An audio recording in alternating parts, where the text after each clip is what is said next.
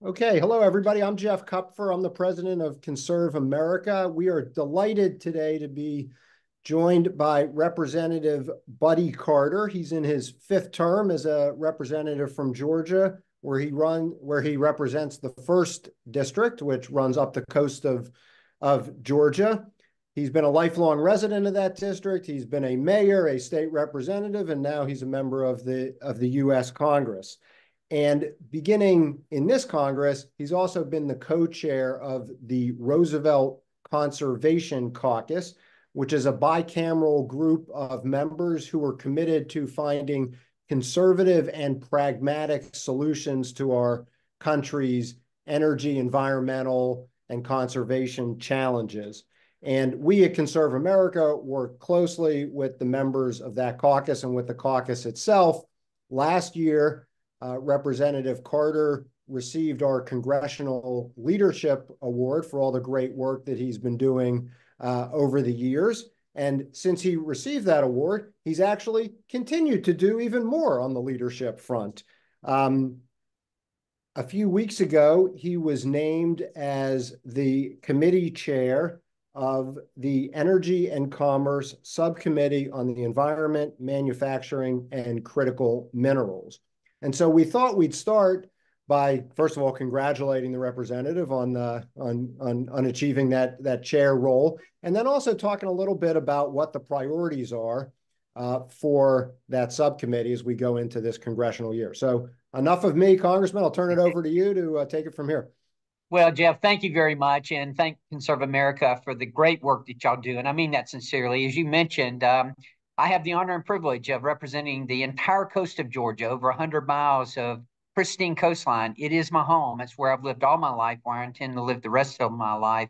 And it means a lot to me. And um, some of my fondest memories are going fishing with my dad. And I, I want my children and my grandchildren to have those same memories and have those same opportunities. And, you know, I get frustrated quite often whenever I hear that um, Republicans aren't conservatives and, and are conservationists, I should say. Um, uh, to the contrary, I believe we are. Um, you know, uh, and a lot of people have questioned, well, you're a pharmacist. Why does this mean so much to you? Well, it means so much to me because of what I just said. Um, I represent the entire coast of Georgia, and yeah, we're up here as representatives of our districts, and therefore it should reflect um, what's important in our district. And conservation is important in my district, and that's why I, I have such an interest in it um, outside of my own just personal interest. But um, it's it's been quite um, quite um, a, um, a, ride, if you will, that um, coming to this uh, chairmanship of the Environment and Manufacturing and and Critical Materials Subcommittee. I'm honored to to take that position. Bill Johnson did a great job, and these are big shoes to fill, and I appreciate Cathy McMorris Rodgers and and her confidence in appointing me to that position. But um, we've got a lot of work to do. We've got to make sure that um, we beat China. China is the OPEC of critical minerals right now. We all understand that. And if we learned anything during the COVID experience and the pandemic, it's that we can't rely on our adversaries for critical um, for the supply chain, chain and, and, and critical supplies. Um, we've we've got to have allies, and we've got to be able to do that ourselves. And that's one of the things that I want us to be able to do. Another thing that's very important to our subcommittee, I believe, is going to be permitting. You know, I had the opportunity last year to go to Houston. I believe it was three times, and every time I went and met with those energy companies, it was the same thing over and over again. Permitting regulations are crushing us. And no matter what sector of our economy you talk to, whether it be energy, whether it be healthcare, or, or whatever, everyone agrees permitting. Permitting is crushing us right now. And we've got to do something about the permitting process. All of us want to make sure that that that we're being responsible, but this is just we've reached a tipping point and we we're we're we're overdoing it with the permitting to the point where it's just crushing us. So that'll be something that's very important to us as well. Um, you you know we want to unleash um, American energy, and and that's very important. I subscribe, as I think a number of Republicans do, to an all of the above type energy strategy. You know, I get frustrated whenever I hear people say that um, we haven't done enough to decrease carbon emissions and pollution here in America. The United States of America has decreased carbon emissions more in the last 10 years than the next 12 countries combined while still growing our economy. So we can do it and we have done it. In fact, I'm I'm often critical of the of the fossil fuel industry and that I don't think they've done a good enough job of telling the story of how they've decreased emissions. And and you know, so often many people want to demonize fossil fuels. Well, we all know that in, in a practical sense, yes, we want to get to no emissions and to zero emissions, but it's going to be a while before we do that. And and fossil fuels are going to have to help bridge that gap there, and and they will. And again, through innovation and through the research and development that they've done in that industry, they've decreased emissions and and will continue to do that. So you know, we've got a lot ahead of us in in the environmental subcommittee, and I'm excited about it. Well, you certainly uh, cer certainly a lot on your plate. I know you've you hit the ground running with a with a hearing last week on uh, cybersecurity issues in, in in in the water system, and I'm sure that will be something as you as you look at infrastructure as well that that you're going to deal with. Can I ask you a little bit on just unpacking a little bit about what you mean about beating China as a practical matter and what that how you look at that from a from a policy standpoint uh, that what should the U.S. be doing uh, in order to accomplish that? Well, we know that we're losing that battle. We know that China, uh, and, and, let's face it, China doesn't have anywhere near the the environmental policies that we have here in America. We we get it and we understand that, and we're not suggesting that we not have uh, permitting and, and not have um, regulations. Of course, we should have that. But there are two things that we've got to do better. We've got, first of all, we got to mine for critical minerals. We have critical minerals here in America, but we, we're not mining for them. We've got to be able to do that. Secondly, is the processing. We, we you know, and, and I get it. I know what China's doing over there. They just, they, they do processing and and once they've contaminated a site, they just close it out and move somewhere else. Well, we're not going to do that, but we can do processing here in America, and we need to be doing processing. But we we don't need to be reliant on them. Um, right now, we are reliant on them. I mentioned that they are the OPEC of critical minerals.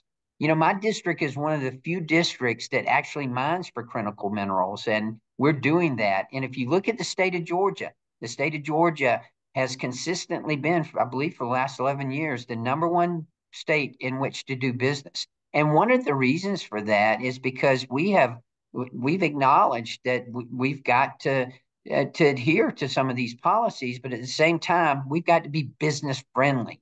And we are business friendly in Georgia, we need to be business friendly in the United States as well. You know, you talk about the all of the above uh, approach to energy, which we certainly ConservAmerica support and uh, and and have have been troubled by by the pause in in LNG exports that's uh, that that is on the table in, in the in the Biden administration. And the other piece that um, that you recognize, and I think it's important to continue to remind everybody, is the link between revenues that come from federal um, production of oil and gas and conservation. Uh, last year, you and I uh, co-authored an op-ed which talked about the Land and Water Conservation Fund, which distributes millions of dollars throughout the country, places in your district and others, and that mm-hmm. support conservation projects. And the funds for that come from royalties and revenues from from uh, activity uh, drilling in, in in federal lands and in federal water. So I think that's always important, and I know it's something you care about it is something I care about, and it's something that all of us should care about. We we need that those um, those funds. Let's face it. You know, environmental protection and economic growth are are not mutually exclusive. We need to understand that, and it, and it is important that the the Land and Water Conservation Fund continue. That depends on, of course, a lot of, of drilling, a lot of, of mining and and the offshore leases that have not been approved by the Department of Interior. There was a there was to be a five year offshore leasing program that was when it's not approved, when it's not extended, then we lose those funds. And when we lose those funds, we lose valuable assets for conservation. And that's one thing that we have to keep in mind how important it is that we have those funds available. You know, another aspect of conservation, which I know you've also been focused on, is the uh, Endangered Species Act. Mm-hmm. And we're, we're, we're at the 50th anniversary of that. Um, question wh whether it's accomplished all of its all of its goals. Do you have some thoughts about where we are with ESA or what we could be doing about it? Well, let's not forget that um, that ESA started with um, uh, with the Republican president, and and and that's important to note. You know, the program really hasn't worked as well as I think it should and and could work. Um, there have only been a handful of instances where we've had some of the um, wildlife that had been listed on the Endangered Species Act to to come off of it, and you know, and some of those were simply errors that they should have never been on there in the first place. But overall, I'm disappointed that the program hasn't worked better than it has, and it needs to be looked at again. It needs to be updated and and probably needs to be tweaked. Um, it, it should never, you know, it, it, it should never be really inhibiting us. And instead, we should be we should be working to eh, obviously, you know, we want to make sure that that all these species exist and, and continue to thrive. But we got to do it in such a way, and it can be done in such a way that it doesn't destroy our economy.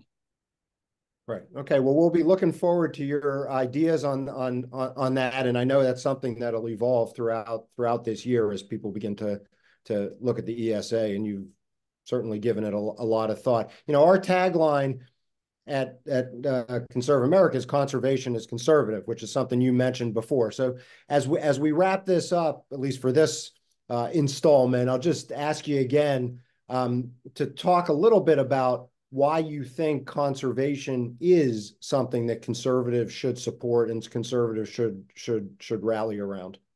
Well, let's not forget who who was known as the conservation president, Teddy Roosevelt, and and you know Teddy Roosevelt, who set all the established all the national forests, the national parks. Um, so you know this originated as a, as a Republican effort, if you will, and it continues as that. Um, uh, you know, we we got to get past this in our country of um, of painting with such a broad brush that we're saying, oh, this group is this, that group is that. That that's not true at all. Republicans are conservationists. We do love our environment. I mean, you know, you talk about hunting and fishing, and I mean, then you're talking about conservatives and you're talking about Republicans and, and conservationists. So it, it is something that I think that um, that that we are are are are doing better at messaging in the Republican Party and and and doing better as, as conservationists to make sure that um, that we understand that we can be conservationists and still grow our economy. That those two do go together. Okay, well, Congressman, we really appreciate your time today. We'll be looking forward to uh, your chair of the committee and all the things that you're going to do. And we look forward to be being back in touch with you as the year goes on to get some updates and have further discussions on these really important issues. Okay. Thank you very much for having me. Okay. Thanks.